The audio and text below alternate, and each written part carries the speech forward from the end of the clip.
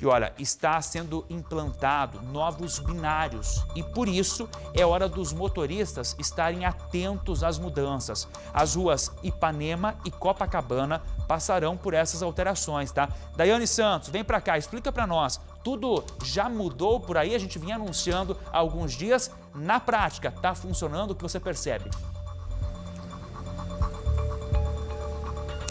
Mudou sim e na prática muitos motoristas confusos. Eu vou fazer uma mudança aqui, pedir para o Darlan dar uma volta para a gente e mostrar aqui, olha, como que está o viaduto nesse momento. Muitas filas. Isso porque essas mudanças, Wagner, elas começam a funcionar já desde o viaduto. Lá no viaduto foram proibidos, por exemplo, conversões, uma faixa apenas para você descer aqui, olha, a Rocha Pombo, quando vira aqui a Ipanema, no sentido bairro.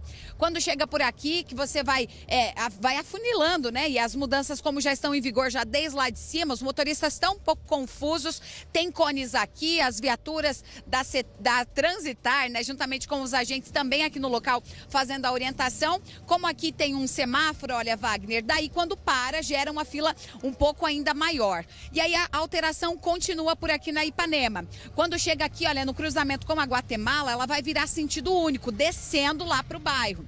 A viatura da Transitar está aqui também com os agentes sinalizando.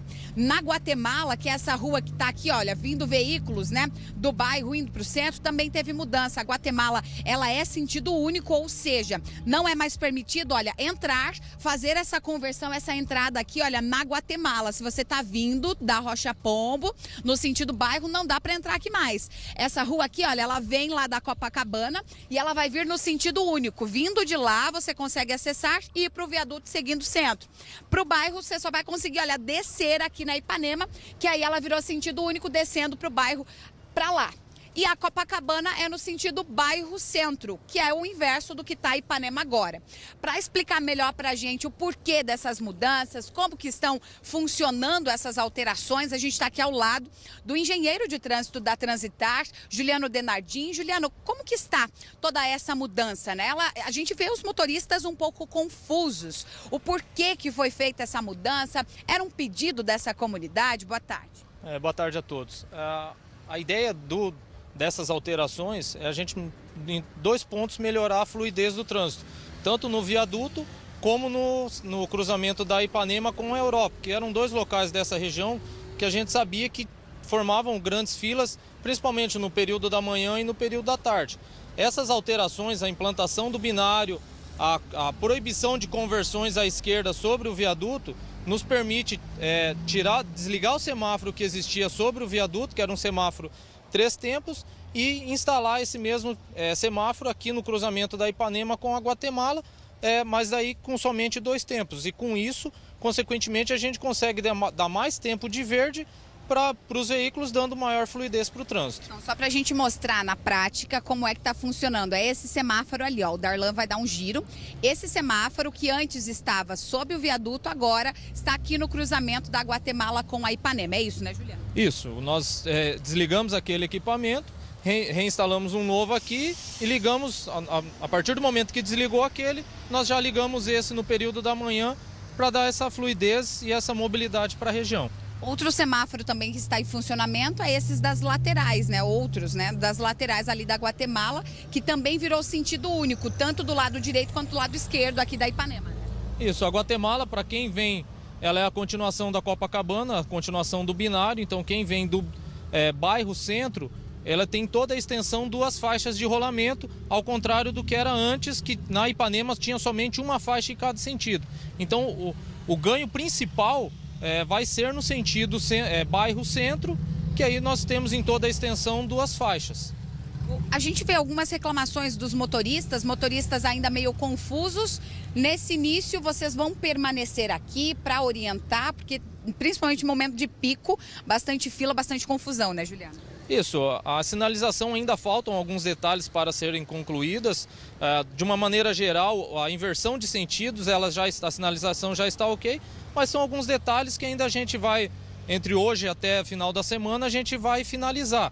É, as equipes de, dos agentes de trânsito estarão nos próximos dias, nesses horários mais complicados, é, fazendo essa orientação, até por ter a mudança do sentido, proibição de conversões. Então, nos locais mais críticos, os agentes permanecerão por esses dias, nos próximos dias.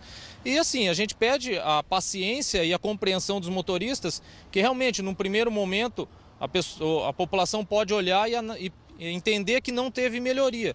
Mas como é, a inversão é recente, foi feita hoje, então tem um período de acomodação dos motoristas entenderem a nova sinalização e ajustes né, deverão e serão realizados caso necessário. Juliana, a gente agradece sua participação aqui na tela do Cidade Alerta. Então, só para a gente reforçar de que maneira está funcionando, então, essa sinalização. Você está vindo do centro nesse momento, quer entrar no bairro. Não é mais permitido acessar a rua Guatemala. Você só pode fazer na rua de baixo, olha, como aquele veículo acabou de fazer aquela conversão. A Guatemala, no sentido aqui de quem está vindo né, do centro, entrando para o bairro, ela só é a, ela vem aqui, olha, da esquerda para a direita, ela vem como esse ônibus aqui, ela é esse sentido, apenas esse binário. E ela vem também de cima, porque também teve mudança na marginal. A marginal ela é sentido único para quem quiser acessar lá o bairro Cataratas, aquela região. E ela vem também somente em sentido único ali do lado direito, né? De você que está vindo aí do, do centro para o bairro. Vai acessar Ipanema, ela só vai descer sentido bairro. A Copacabana, ela sai do bairro sentido centro. Essa alteração, então, que está em vigência a partir de hoje aqui nesta região. Wagner.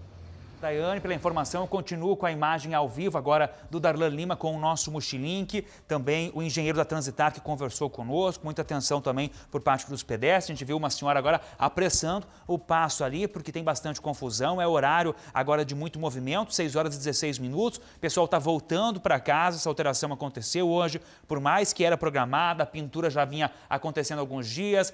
O pessoal que mora nessa região já percebia o trabalho, nós estávamos alertando a mudança oficialmente já está valendo, então muito cuidado na volta para casa. Agora é movimento intenso nesse momento, tá? E tem mensagem chegando pelo nosso WhatsApp, 45 99971 6137 sobre isso. Olá, Wagner, tudo bem? Se a Transitar queria fazer uma grande bagunça, fizeram hoje no viaduto da Rocha Pombo.